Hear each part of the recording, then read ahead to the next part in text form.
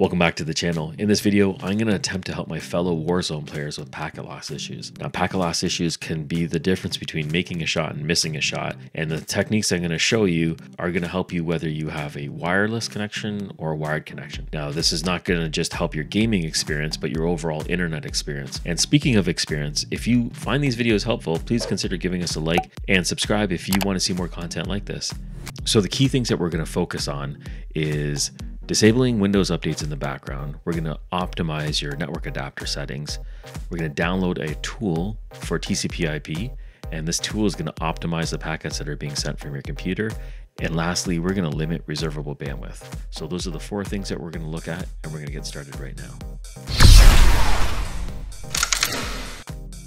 Now, before we get started, make sure you subscribe to this channel. And if you're on YouTube, hit the alert notification. Now, before we begin, there's a few things I want to get out of the way to make sure that they're covered. And the first thing is to always make sure that your network cable is properly seated. If you're going by a wired connection, it's plugged in all the way. Examine the cable, make sure there's no kinks in it. If there is any kinks, it's probably best to replace it because that is one big problem that you're not going to be able to resolve with software, and a lot of people overlook it. Now, the next one is to update Windows, make sure your Windows is updated. The best way to do this is just click on Start and type in Check for Updates, and then up at the top, you can see this icon here. You can click on it and then you can click on the check for updates button and it'll make sure that your operating system is completely up to date. And if there is any updates that are required, we definitely recommend doing that before proceeding.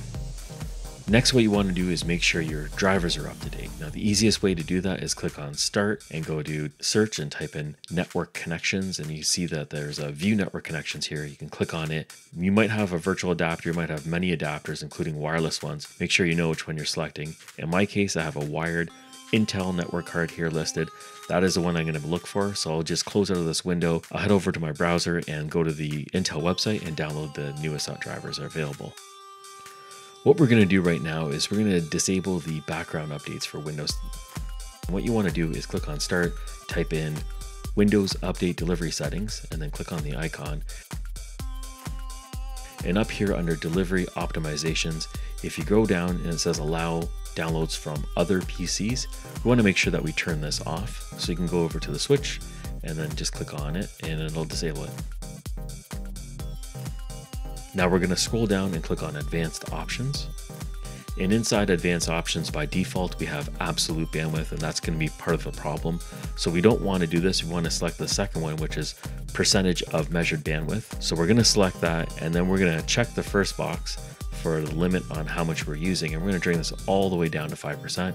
And we're going to do the second one all the way down to 5%.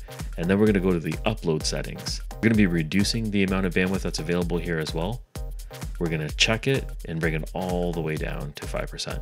And that takes care of the background updates. So we can close out of the windows and return back to the desktop. Now we're going to modify the network adapter settings. So if you go to your start menu and type in view network connections and we click on that, we're going to go into our adapter. In this case, I'm going to be selecting my ethernet adapter, which is the Intel one that we were talking about earlier. We're to be selecting my Intel card, right clicking on it and going to properties. And inside properties, we're going to click on configure. And inside configure, we're going to go to the advanced tab. And in here, we're going to be selecting the first one, which is energy efficient ethernet. We're going to be selecting that and then the value, we're going to be turning it off. So right now it's on, select off. You might have an option that says disabled. It really depends on the type of network card do you have. And anything else that's in here, you want to disable anything related to power saving. We always want the power at full blast when we're gaming. And we're going to go over to power management and it says allow the computer to turn off this device to save power. We don't want to save any power for this purpose, so we're going to uncheck it and then click OK. It may prompt you to restart your computer so changes can take effect. We're not going to restart the computer yet. We have a few more things to do. The idea here is we're not trying to save power with the adapter. We want this powered up completely into the fullest lot capabilities. So you can just close out of this window and we can move on to the next step.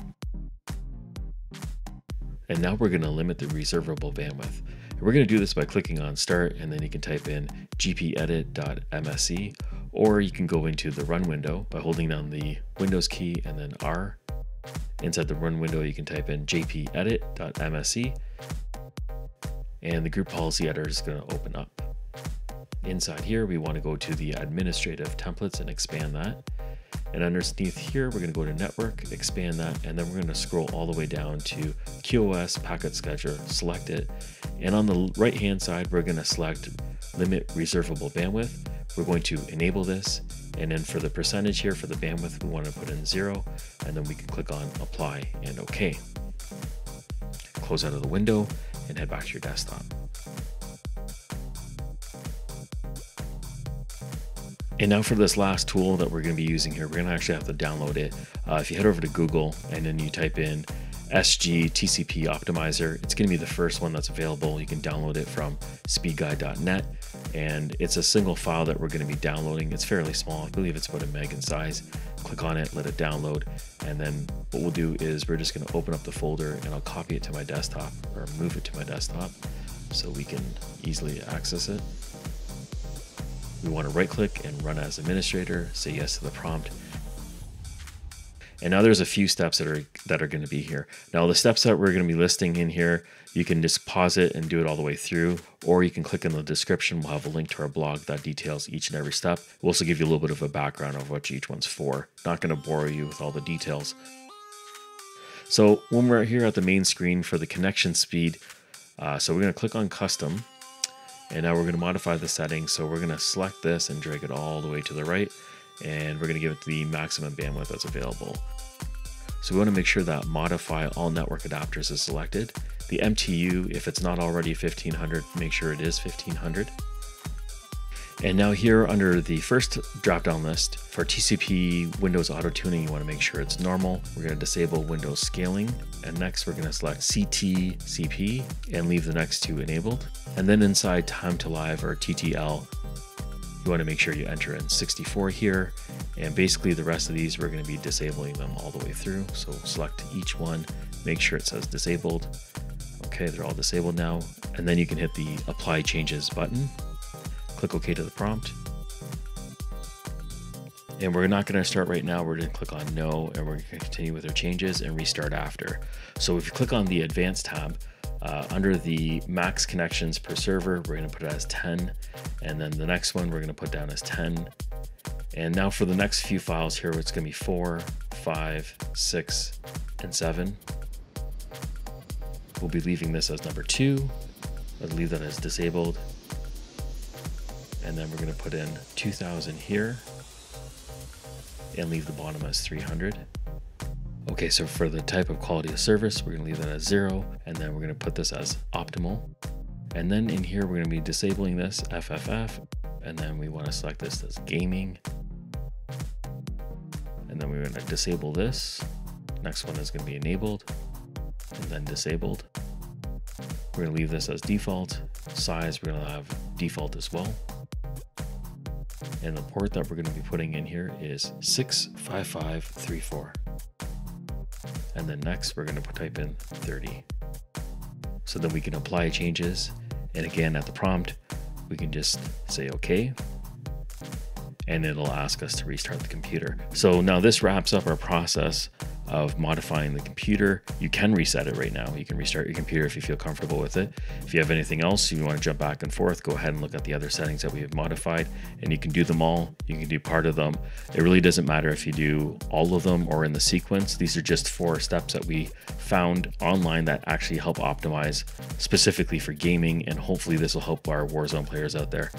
I hope you found this useful. If you did, please give us a thumbs up. If you can let me know what worked best for you, if you're doing it in stages, just put it in the comments below. I'm really curious to find out what's helping out users out there.